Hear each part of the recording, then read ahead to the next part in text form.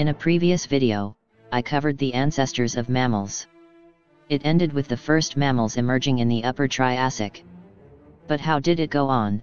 What is it about the claim that mammals hardly evolved during the Mesozoic and remained at the level of mouse-like creatures? I would argue that this view is wrong and out of date, because during the Mesozoic important course was set, which only made the emergence of mammals possible in the Tertiary. As we have seen, some of the cynodonts also survived for a relatively long time and coexisted with the mammals. To draw the line between the two groups is arbitrary and there is no unanimous opinion. Because many of the features that we claim for mammals can hardly be proven in fossil form.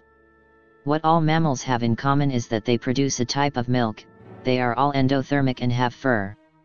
Another characteristic that emerged in course of evolution are the three ossicles. Today there are three different groups of mammals. The monotremes are the oldest group in evolutionary terms and still lay eggs. Marsupials and placentas, on the other hand, are viviparous, but most marsupials lack a placenta so that a large part of the embryonic development takes place in the pouch. But when did these groups separate from each other? We find a clue in the genes and proteins of today's animals. So-called genetic clocks assume that there is a certain amount of deviations per generation. Due to the differences between different species, the degree of kinship can be determined on the one hand, but also how many generations lie between the common ancestor. The uncertainty of dating is mainly due to how long a generation can be estimated and how many genetic changes take place per generation. This leads to large areas of uncertainty, which in the case of the mammal groups also overlap massively. In order to further narrow down the areas, fossil representatives of the groups can be consulted. In this way, the areas for the separation between placenta and marsupials, but also, above all, the separation from the monotremes can be massively limited. By including extinct groups that are believed to be closer to placenta and marsupials, the period can be narrowed down further and thus falls into the Upper Triassic. The ancestor of all mammals living today lived sometime between 220 and 210 million years ago. The first tangible fossils of mammals belonging to the Allotheria group appear 205 million years ago. Their distribution corresponds to that of the mammalia forms, while the older groups of the cynodonts were concentrated in the south.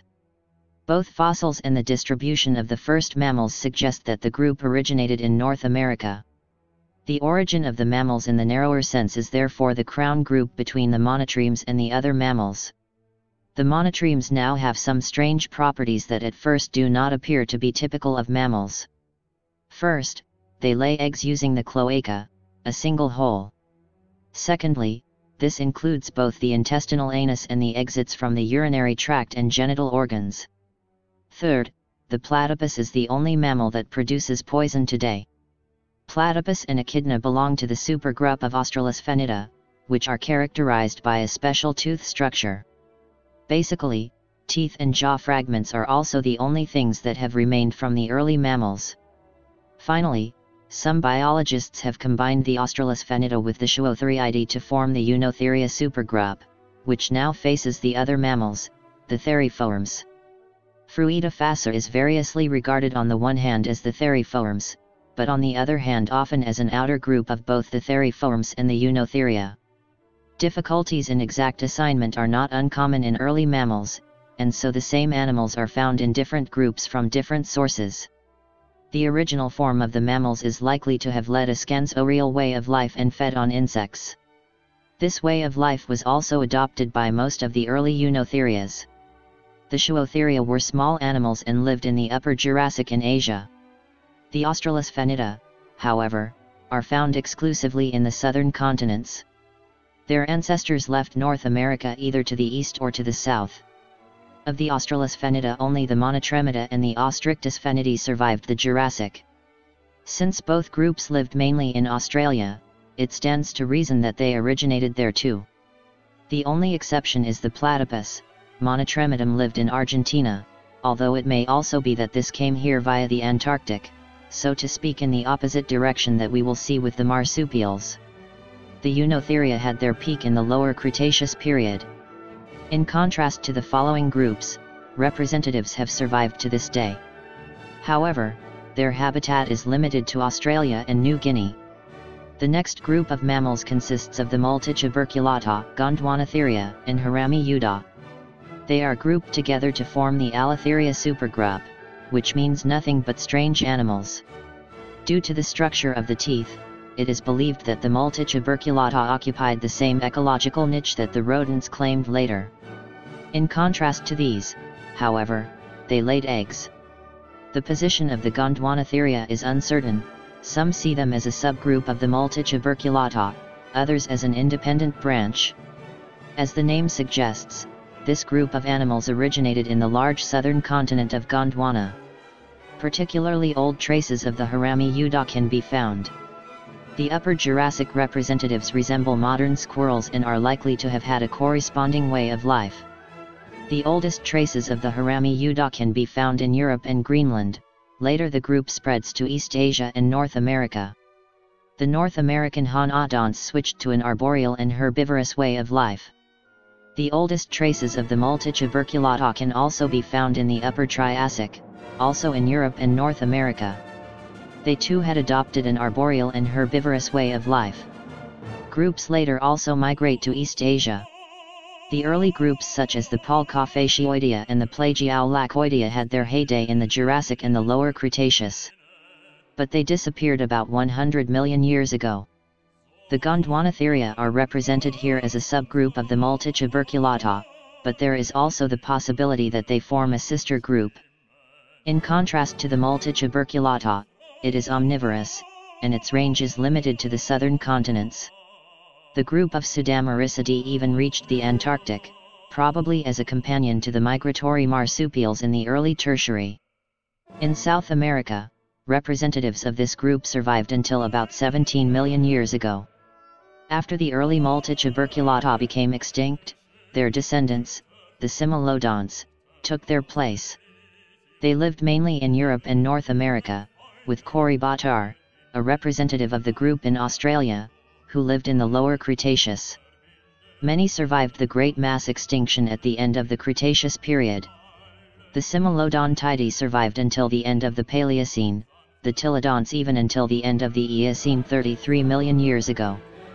Other groups of the Cimolodonts followed, most of them stayed in North America and Europe, but the jumping mouse like Djadochtatheria went to Central Asia. Hence the tradition that the names of many multituberculata end with the Mongolian term Baatar, which means hero. The Teniolabids and the Kogaionids are the youngest groups of the multituberculata. They spread to North America and East Asia. The last of them died out in the early Eocene. The Allotheria have seen a series of ups and downs. The first high point was the Upper Jura. While the Haramiyida died out in the Lower Cretaceous, the position of the Multituberculata strengthened in the Upper Cretaceous. They too had to give up during the mass extinction, but they started off quite successfully in the Tertiary. But with the onset of the Eocene, the rapid decline begins. The extent to which this has to do with the spread of placental rodents, which dispute their ecological niche, has not yet been fully clarified. In any case, in isolated South America, the Gondwanatheria survived the Multituberculata by 16 million years. The Allotheria are therefore completely extinct, a fate that the next groups also share. The sister group of the Allotheria are the Holotheria, which means whole animals. In some cladograms the group of Kuehneotheriidae appears as a subgroup, these lived 220 to 195 million years ago and are now more likely to be counted among the Mammalia forms within the cynodonts. On the other hand, there is little doubt that the two groups of Eutriconodonta and Ctenodonta belong to the Holotheria. As the name suggests, the former is characterized by teeth that have three conical elevations. The name Ctenodontidae means expanding tooth. The triconodonts have been found on all continents with exception of Australia. Soon they switched to a ground-dwelling way of life, and in the lower Jurassic the groups of amphidonts and gobiconodonts supplemented their diet with meat. Repenomamus was 1 meter long, the giant among the Mesozoic mammals. In the world of dinosaurs they were admittedly only dwarfs. The Jeholodentidae are named after their famous location in China. They seem to have been insectivores. The Volaticotherini adopted a different way of life, they developed sliding skins between their extremities and were thus able to float back and forth between trees. They thus resemble modern gliding squirrels and gliding marsupials and appeared at the same time as the first birds. The Volaticotherini already disappeared in the lowest Cretaceous, and no other triconodont survived the Mesozoic era. The ctenodonts also died out in the lower Cretaceous. The triconodonts reached their peak in the lower Cretaceous, at the time when the ctenodonts disappeared. But then the rapid decline began, and the last of them fell victim to the mass extinction at the end of the Cretaceous. The sister group of the Eutriconodonts and ctenodonts were the Trechnotheria, which means something like fast animals. The Trechnotheria in turn split into the two groups Symmetrodonta and Cladotheria. The Symmetrodonts got their name because of the symmetrical structure of their teeth. While the basal Trichnetherine were mainly limited to the western Laurasia, the Symmetrodonta also spread to the eastern areas of the northern continent. They are only detectable in fossil form from the beginning of the Cretaceous period. Some basic representatives even survive the mass extinction, but already disappear in the Paleocene. Like the Eutriconodonts, many of them lived on the ground, but they remained insectivores throughout. Like the Eutriconants, they peaked in the lower Cretaceous relatively soon after their emergence, then began their gradual descent. The Cladotheria in turn split into the Dryolestida and the Zootheria. As with the previous groups, they are also primarily documented by their teeth. The Dryolestidae were the first group and arose as early as the Middle Jurassic. This group, which colonized both Laurasia and South America, lasted until the Great Mass Extinction. The Porodonts had a significantly shorter life on the border between the Jura and the Cretaceous. According to the producers, the animation character Scrat from the Ice Age films represents an early mammal from the Mesozoic era. Of course, its appearance in the Ice Age is an anachronism. While most of his role models were insectivore, Scrat is famous for his fixation on acorns. However, oaks only appeared in the Upper Cretaceous. The Meridiolestids within the Dryolestida originated in South America and were mainly found in Argentina. One of the larger creatures was Peligrotherium that was about 80 centimeters long. The name means dangerous animal for whatever reason. The Mesungulates results survived the Great Mass Extinction, but already disappeared in the Middle Paleocene. However, a Meridiolestide survived the Paleogene. Necrolestes, a rather strange animal, appeared in the Miocene after a long hiatus. But 17 million years ago the Dryolestida came to an end. There are some gaps in the tradition of the Dryolestids. After their formation they have a climax at the border between the Jura and the Cretaceous, then their traces disappear until they reach their maximum in the Upper Cretaceous. The group was severely affected by the mass extinction, and its tertiary presence was marginal at best. The sister group of the Dryolestids, the Zootheria, produced two other groups during the late Jurassic, the Amphitheria and the Peramura. Both groups are named after an eponymous animal, either Amphitherium or Peramus. How in the case of previous mammals it is mainly teeth and jaw fragments that can be used for the determination. All who did not belong to these groups are summarized in the Tribosphenides. As you can guess from the name, it is an indication of the tooth structure. The Tribosphenida in turn split up into the Aegialodontia and the Theria. The Theria are the crown group of all placenta and marsupials living today. One of the most famous basal Zootherium is Vincelestes from Argentina. Other basic representatives also lived in China and Mongolia. The Amphitheriida and Peramura lived in Euro-Usia and Africa. Neither group was granted long presence, and the basal Zootheria also died out 100 million years ago the Tribosphenides remained. Their basic representatives appeared at the beginning of the Cretaceous period and disappeared 70 million years ago. Their distribution area was North and South America.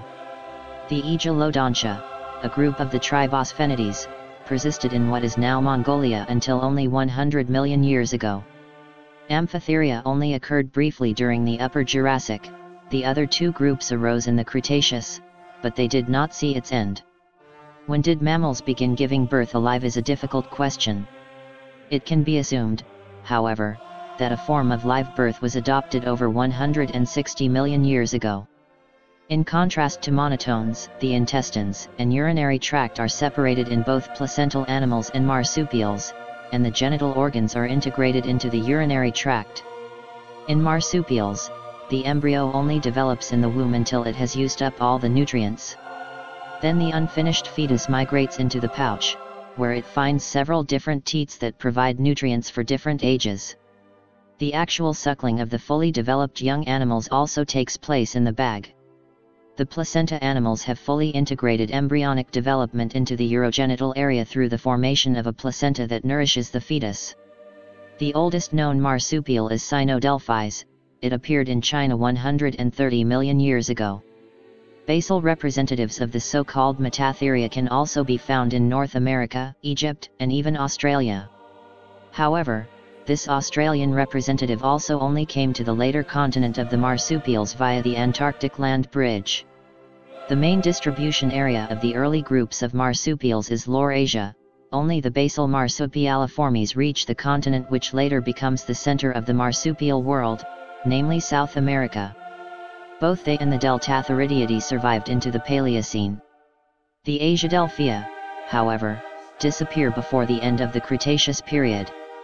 While Deltatheroida, Asiadelphia, and the basal marsupialiformes shortly before or after the Great Mass Extinction, the basal Metatheria experienced a renewed heyday during the Tertiary. However, they died out 33 million years ago in another mass extinction. The Archaemedatheria were all carnivores or durophages and lived on both American continents. The subgroup of the Stagodontidae also produced forms that liked to stay in the water. Another group, the Alphadontidae, lived in both North America and East Asia. The Herpetotheria that occurred in all continents except Australia were cosmopolitan.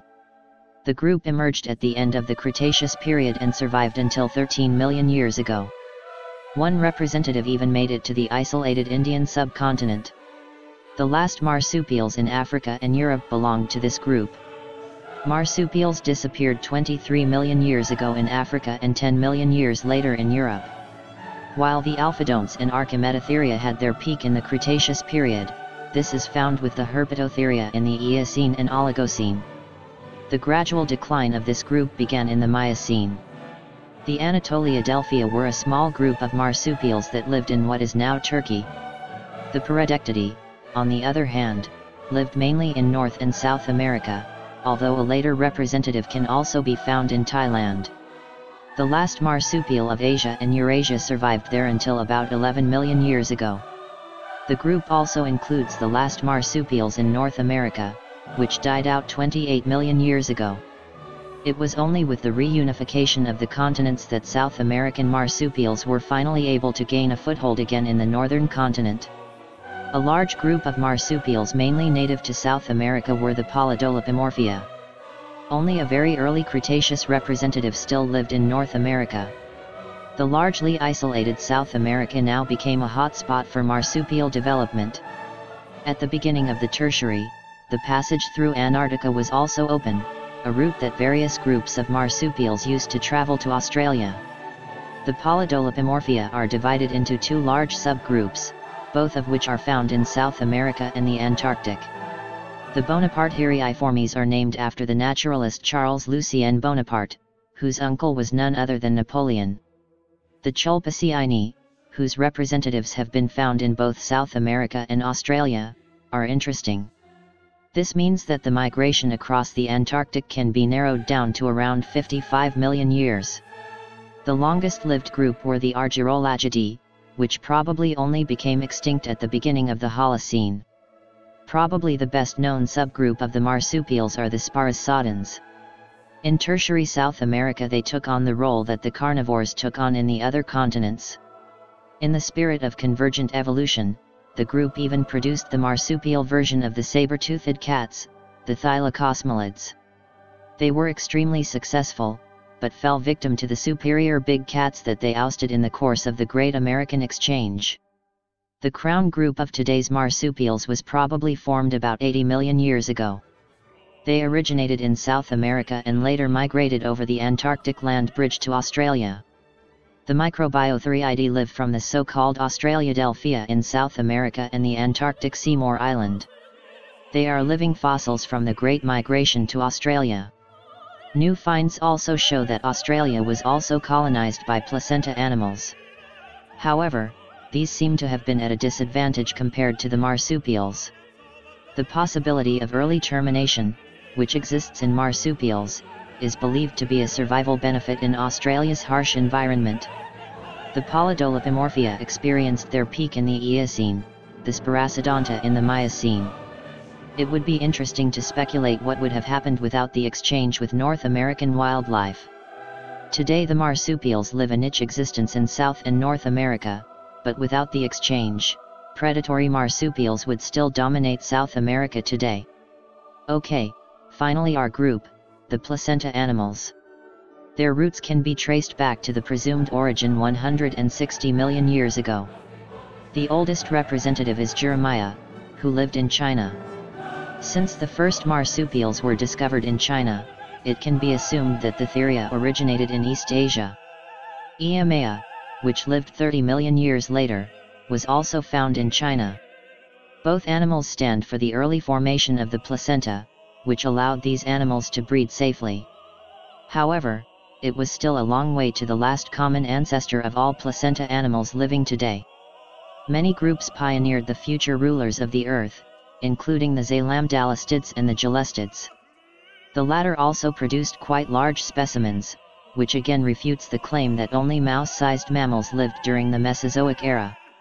The Zalambdalestids even managed to survive just into the Paleocene, the primitive Didymoconidae even survived until the middle of the Miocene. Their distribution was largely limited to the northern continents, with exception of the Zhelestids, of which a representative even made it to India.